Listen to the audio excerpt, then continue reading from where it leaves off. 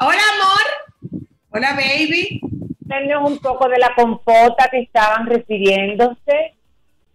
¿Eh? ¿Qué fue? Que nos hablen un poco de la compota que se refería.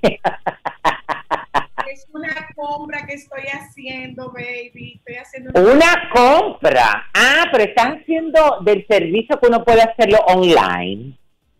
Exacto. Ah, pero mira qué interesante, mira qué interesante cómo nos vamos adaptando. Tú sabes que después te voy a mandar un escrito. Ay, no te lo puedo mandar porque lo borren. Ay, Dios mío. Un escrito que me compartió Tuti Almonte de Swain, eh, que cuando lo leí, me, eh, eh, automáticamente pensé en ti. pareciera escrito por ti. No me digas. Pero muy, voy a, pedirle que me lo reenvíe para compartírselo, porque te va a gustar mucho. Mira, tengo mucha información que compartir con ustedes. Eh, la primera es que eh, Tamara Falcó, la hija de Carlos Falcó con Isabel Presley, es la nueva marquesa de Griñón. Ajá, es la nueva marquesa de Griñón. Eh, sí, ¿eh? No, ese título, no, ese título lo heredó de su padre, que murió ahora el 20 de marzo, dejó dispuesto que ella fuera la heredera del título nobiliario más familiar. Manolo, su hijo mayor, se queda con el que posee el grado de grandeza de España, que es el de Marqués de Castelmoncayo. Sandra, la segunda de los hijos de Carlos Falcó, ya obtuvo de su abuela materna, Hilda Fernández de Córdoba, el título de Marquesa de Mirabel.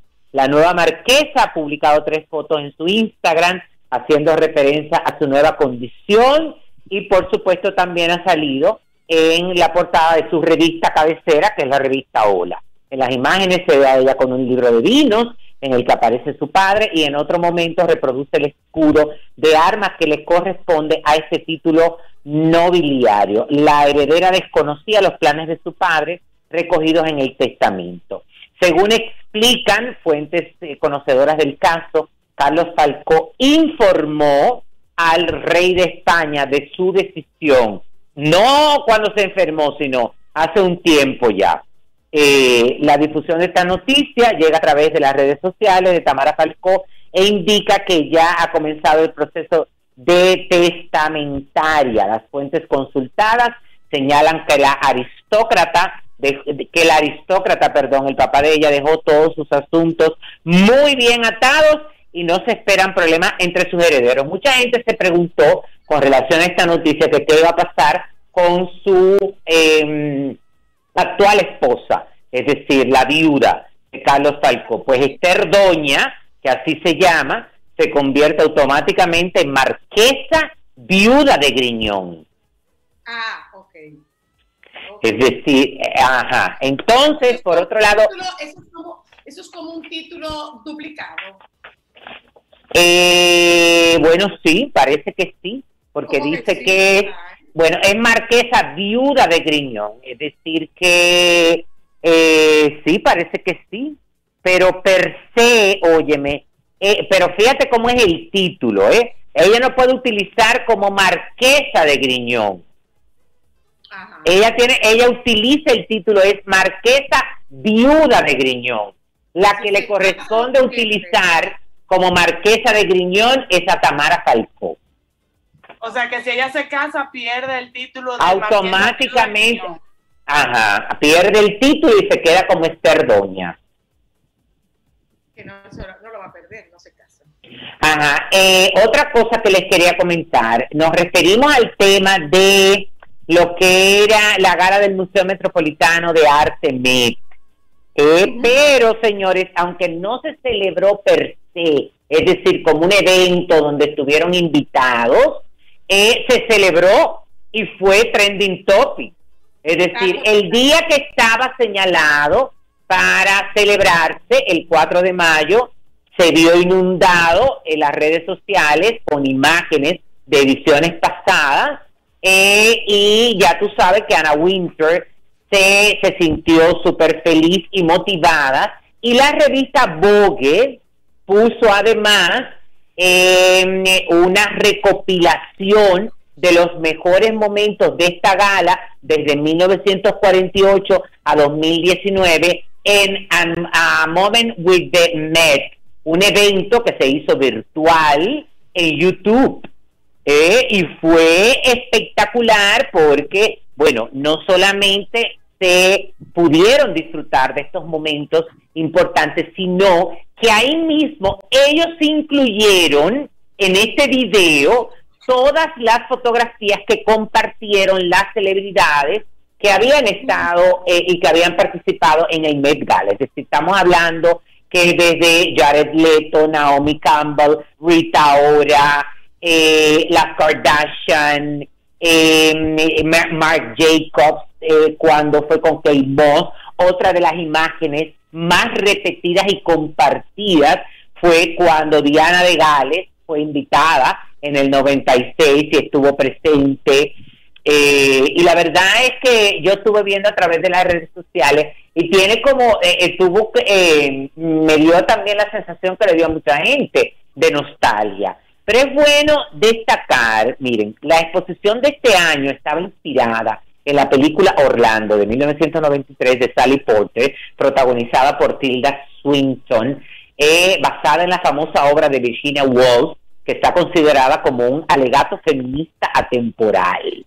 Entonces, eh, este año también se iba a celebrar el 150 aniversario de, de Met, pero ellos no han suspendido, es decir, en la página web del Metropolitan Museum anuncia que la exposición va a abrir al público en octubre, aunque no se habla en ningún momento de la gala, que por supuesto este año eh, va a estar suspendida. Es decir, que eso es bueno aclararlo.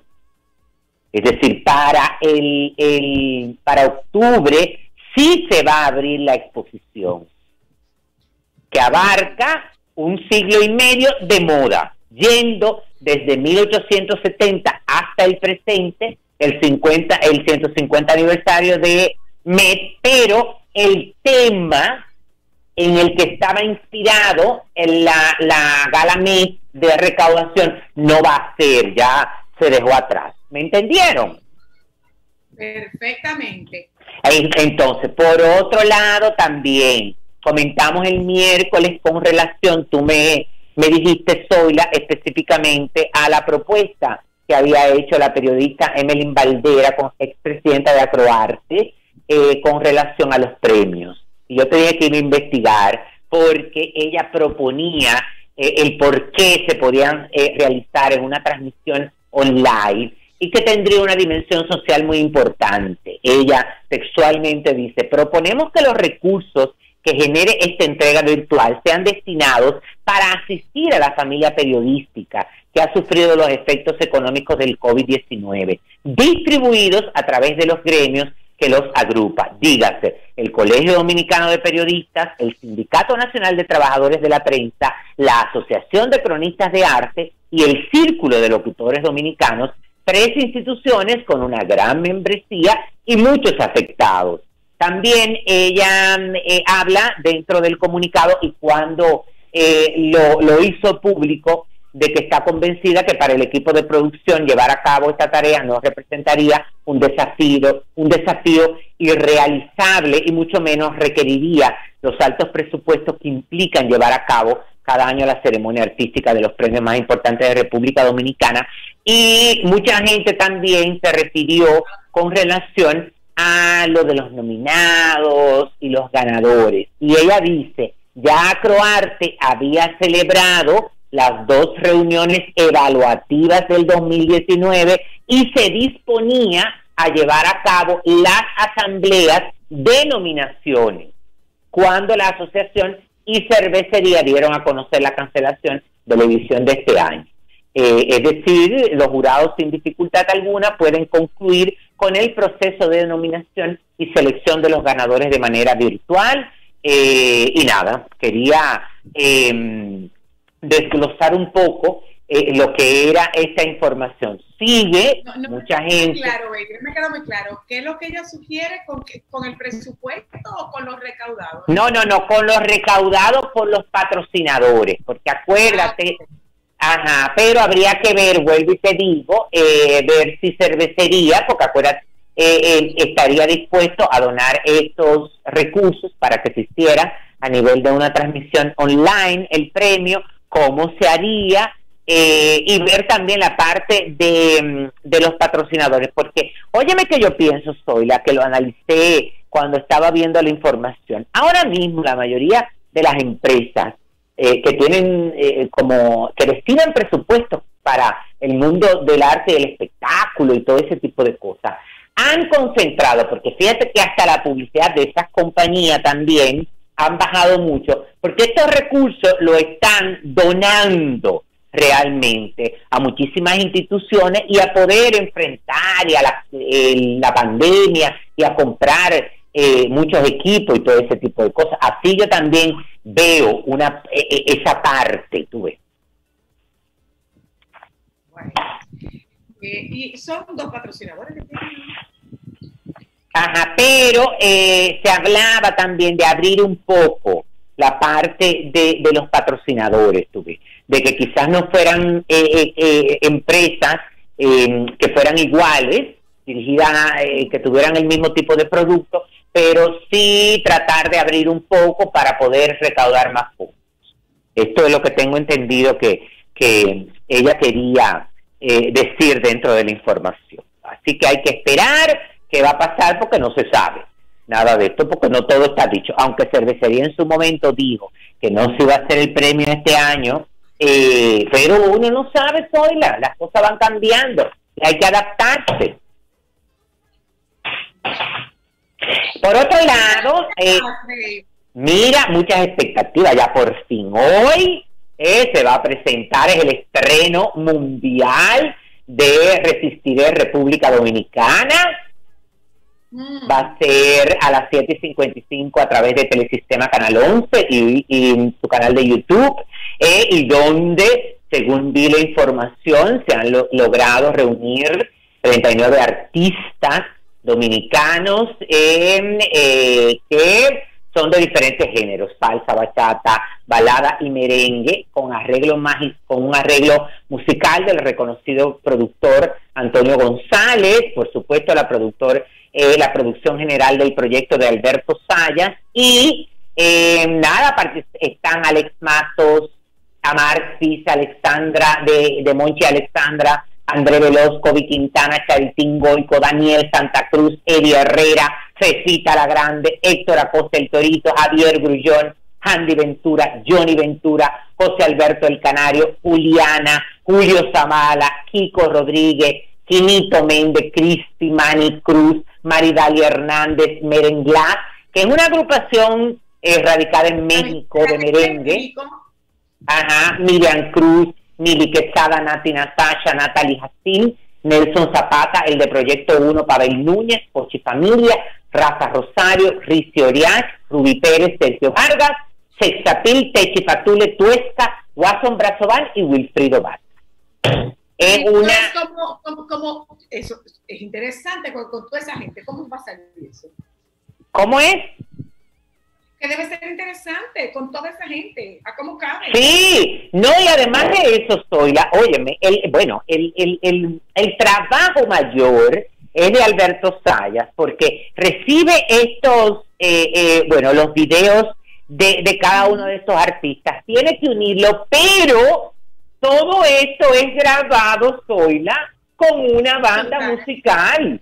Es decir, donde participan reconocidísimos músicos dominicanos como Johnny de la Cruz Chocolate, Luis Mojica, Rafael Carrasco, Joel Bongo, eh, Ramírez, Isidro Bobadilla, el Boba, David Almengot, Chiquito Timbán, Guys por Omita, Isaías Leclerc.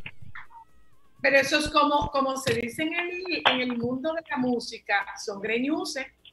Sí, sí, sí, bueno, eh, eh, eh, vamos a ver el resultado, pero hay una, hay una, yo, bueno, yo tengo una expectativa que tú no te puedes imaginar. Dice en una información que yo vi a través de las redes sociales eh, que también se va a estrenar en primer impacto. Yo lo que no yo lo que no tengo claro es si lo van a estrenar este video eh, hoy en primer impacto y después se va a transmitir en la noche eh, aquí en República Dominicana, que me imagino que será así, que lo harán. Lo que pasa es que tú sabes que los estrenos en primer impacto son ediciones cortas. Claro, claro, no, y, por más que sea una, eh, es una, una, un estreno eh, a nivel eh, mundial, porque la verdad es hoy, la óyeme, que la, los ratings y lo que está, eh, ¿cómo que se llama esto? Captando la atención, óyeme, del público a nivel de televisión y de radio, los programas, es asombroso. Tú recuerdas, o ustedes recuerdan, mis muchachas, que yo hice referencia de un de una niña o de un niño, no recuerdo bien, que lloraba eh, detrás de mi casa.